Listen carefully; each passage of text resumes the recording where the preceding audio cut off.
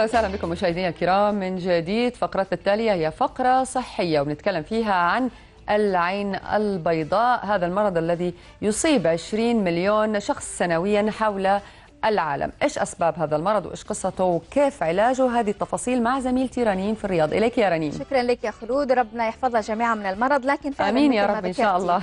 المياه البيضاء مرض شائع جدا يصيب العين. وعرفت بأنها عبارة عن آه، خلود خلينا نسميها سحابة على عدسة العين تؤدي إلى ضعف الرؤية. وأيضا من المتعارف عليه بأن المياه البيضاء تصيب كبار السن أكثر. وفي بعض الأحيان أو في أغلب الأحيان عفوا تكون نتيجة أمراض مثل مرض السكري تحديدا مع شيوع هذا المرض. لكن طبعا وسائل العلاج تطورت واختلفت إضافة إلى التطورات التكنولوجية التي غيرت في مفهوم هذا المرض وغيرها من الأمراض. مشاهدينا نتابع التفاصيل في التقرير التالي.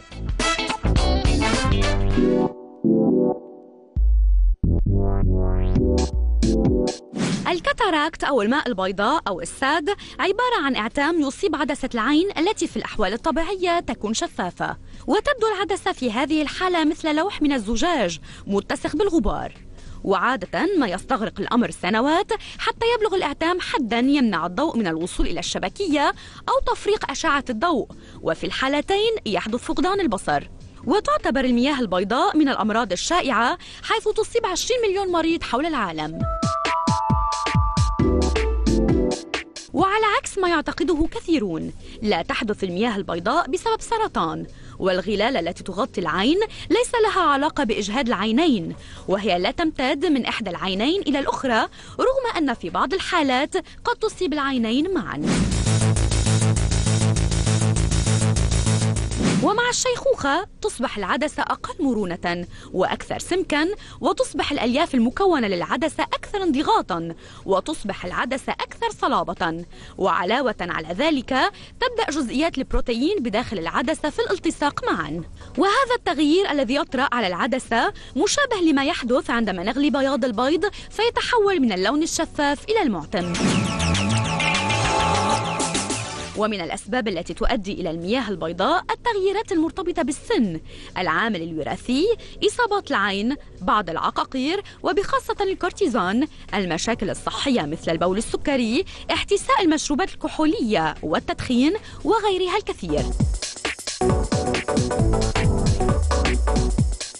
وقد شهدت جراحة المياه البيضاء تطورا ملحوظا في السنوات الماضية. من الجراحة المعتادة إلى إزالة المياه البيضاء بواسطة الموجات فوق الصوتية وصولا إلى الليزر. إذا مشاهدينا نتعرف أكثر على هذا المرض وأيضا على سبل العلاج معنا في الاستوديو الدكتور وسيم عبد العزيز عالم عضو هيئة التدريس في كلية الطب بجامعة طيبة ورئيس العلاقات العامة في الجمعية السعودية لطب العيون. أهلا بك دكتور. أهلا وسهلا. دكتور بداية يعني دائما نسمع عن ال- الماء الأزرق أو المياه الزرقاء وأيضا الم- المياه البيضاء في العين. نعم. بداية عرفنا على المياه البيضاء وإيش الفرق ما بينها وبين الماء الأزرق.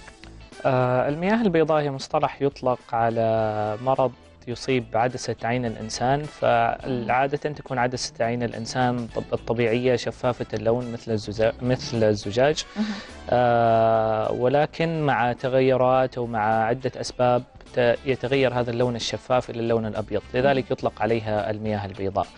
بينما مرض المياه الزرقاء آه، يعتبر هو عبارة عن ارتفاع في ضغط العين يؤثر على عصب العين وما يؤدي إلى ضعف النظر. فالمياه البيضاء تصيب عدسة العين وتسبب عتامة فيها بينما المياه الزرقاء هي عبارة عن ارتفاع في ضغط العين وتؤثر على عصب الإبصار. وبالتالي لازم أعتقد دائما يكون في قطرات أو علاج لتخفيف ضغط العين. نعم.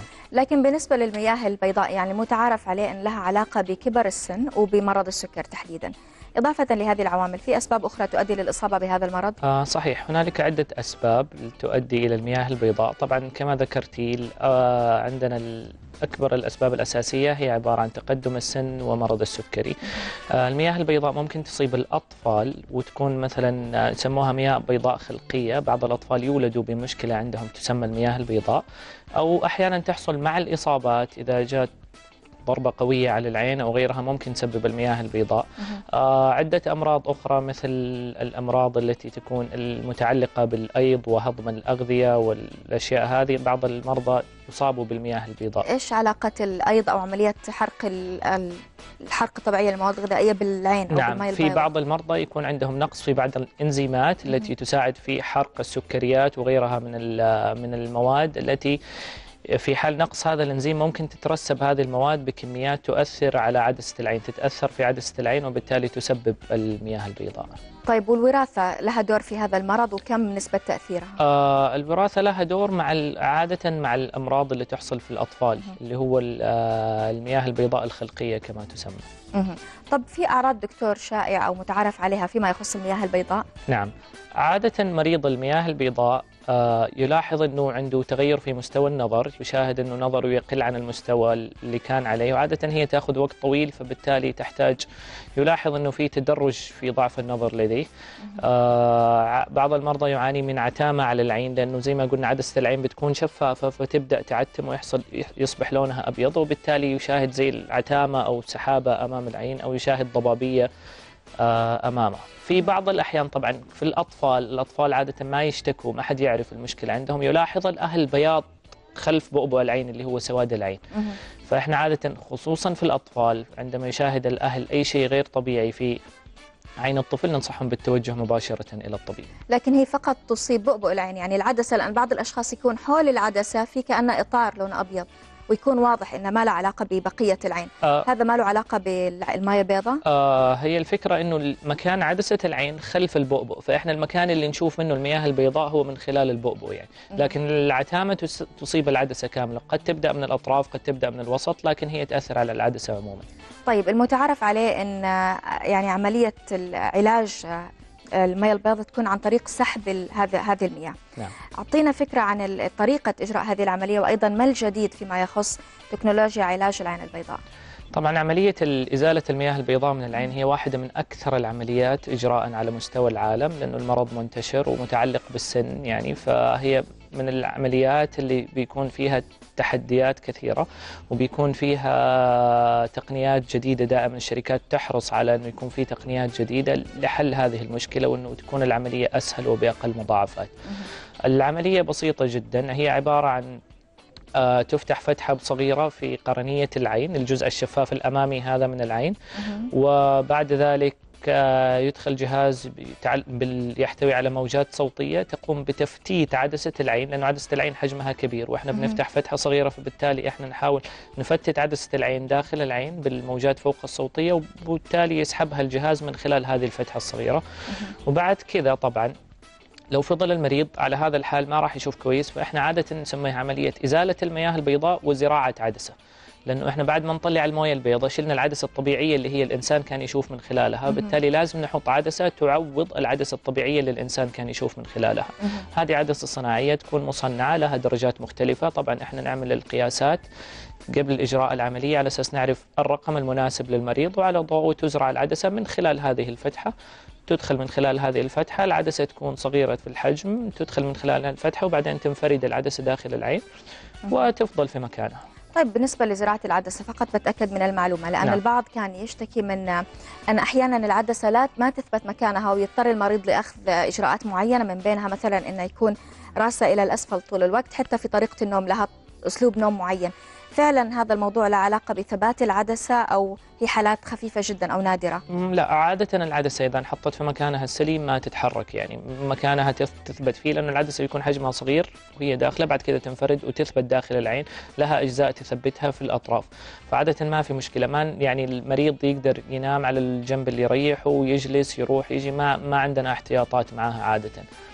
في بعض الأنواع من العدسات أو بعض العمليات اللي تكون فيها مضاعفات أو شيء فننصح المريض بس أول كم يوم بعد العملية مثلا إنه ما يسجد أو يركع في الأرض لفترة بسيطة إلى أن تستقر الأمور في حتى ما يكون في. ضغط على العين. آه بالفعل بس على أساس أول الأيام بعد العملية. لكن بعد كذا العدسة داخل العين. كثير من المرضى بيسالونا ليش تحط لي عدسة؟ فإحنا شرحنا هذا الموضوع. العدسة داخل العين ما تتأثر بأي شيء من الخارج ما والمريض ما يحس فيها ابدا. لكن عادة العلاج هو يكون عن طريق إجراء جراحة بغض النظر عن طريق طريقتها أو في علاجات ثانية دكتور قبل الوصول إلى مرحلة الجراحة. آه الحل الوحيد لا يزال إلى الآن هو الجراحة لأنه مم. هو هذا التعتيم في عدسة العين ما عندنا أي حل إلى الآن أنه يرجع عدسة العين الطبيعية شفافة.